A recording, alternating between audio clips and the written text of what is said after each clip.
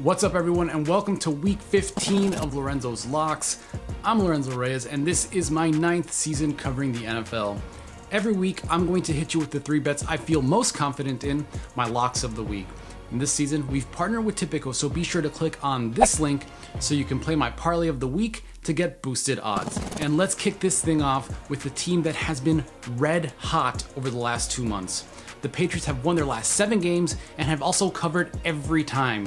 Their defense is exactly the type of unit that can at least slow down Jonathan Taylor, and though both teams are coming off the bye, I'm giving the edge to Bill Belichick here, especially because these are the games, ones with huge implications in the AFC playoff picture, in which he usually pulls out all the stops.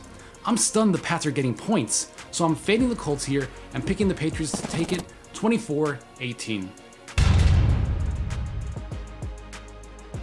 And from a team that has been surging, let's now go to the best in the league against the spread.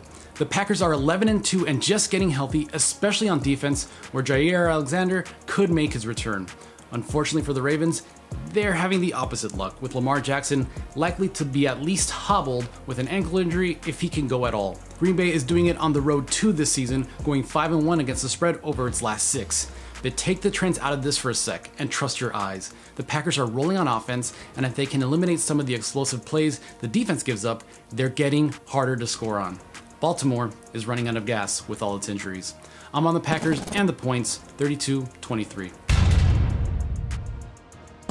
And finally, I'm looking at another team that is cruising along even with their Monday night letdown against the Rams. The Cardinals are still one of the best offenses in the NFL and are a perfect 7 0 against the spread when playing on the road. The Lions simply aren't to be trusted, even though they've shown they're capable of stretches of hard fought play.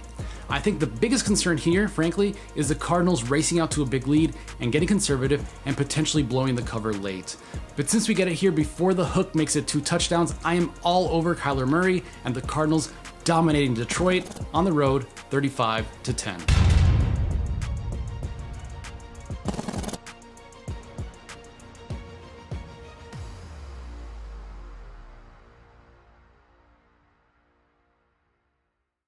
Hey sports fans, if you want to learn more about sports betting, be sure to follow us on our YouTube channel and be sure to check out all of our exclusive tips and fantasy coverage at betforthewin.com.